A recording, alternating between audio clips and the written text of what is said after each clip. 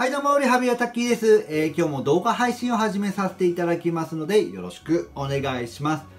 今回のテーマなんですが、生活環境から見直す肩こり対策ということで、私たちの想像以上にですね、大きな効果をもたらす環境調整という視点からのアプローチについて解説をさせていただきますので、よろしくお願いします。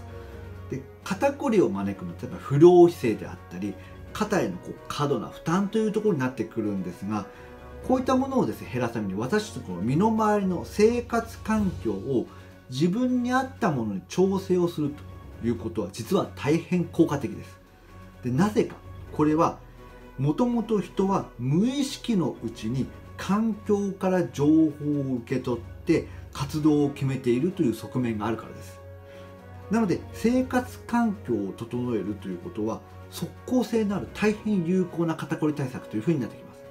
ででこれを基本的な考え方というふうになるんですがじゃあ肩こりの時にちょっと思い出していただきたい。肩こりは体の片側のみに負担がかかる姿勢ですとか長時間の崩れた同一姿勢というものが肩こりを引き起こしますということがあります。なので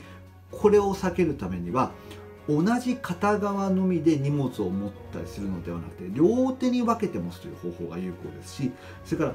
片側のみにどうしてもカバンを持ってしまうとやっぱり負担かかってしまいますので例えば手持ちカバンよりもリュックを使うなんていう方法もあります。それから自然な姿勢ですとか寝返りができるように自分の首のカーブに合った枕を用意する。具体的には頭の方が15度ぐらい高い方がいいというふうに言われてるんですがこういったものがおすすめです。ぜひですね、こういった点をですね、参考にしていただければというふうに思います。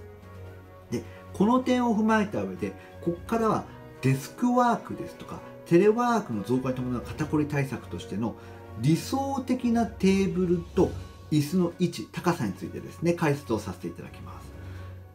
具体的なデータとして、まず2020年になるんですが、厚生労働省の方からテレワーク労務管理等に関する実態調査というのが実際ありました。でこれによると70%以上の企業がテレワーク時の、まあ、椅子ですとか机ですとか部屋の明るさなどの作業環境の確認をしていないという報告が実は挙げられています、まあ、2020年コロナ真っ只中ということももちろんあったかとは思うんですがでそういった観点からも、まあ、もちろんあの体の問題関節ですとか筋力ですとか姿勢なんかあるいはストレスなんかの心の問題と並んでこの環境面を見直すということは相互作用的にも大変効果的です。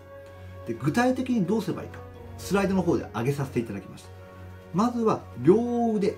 前腕部というんですがここはアームレストの椅子のアームレストですとかあるいはデスクの上に乗せて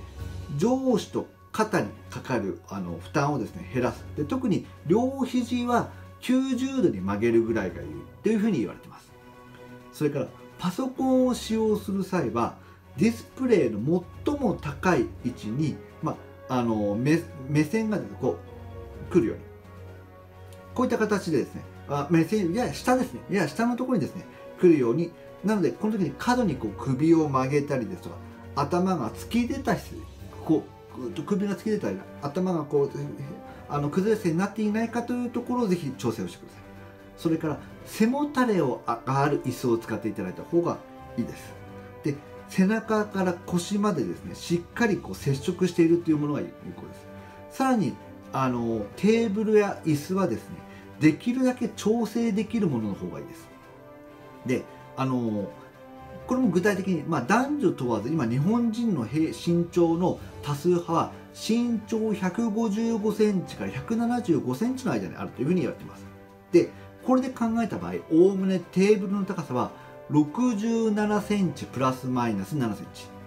椅子の高さは39センチプラスマイナス4センチ。この範囲に調整をしていただくと理想的な高さに近づいてきますのでこれも有効な肩こり対策というふうになります。でこれももちろん効果的なんですがもし可能であれば同時に部屋の温度ですとか湿度ですとか画面の明るさとかコントラストというところまで調整していただくと肩こりに関連が深い目へのこう負担を減らすということになりますのでぜひこの辺りも含めてですね実践していただけると幸いです、え、今回の配信ここまでというふうにさせていただきますのでよろしかったらぜひチャンネル登録をよろしくお願いします。最後までご視聴していただきましてどうもありがとうございました。ではまた。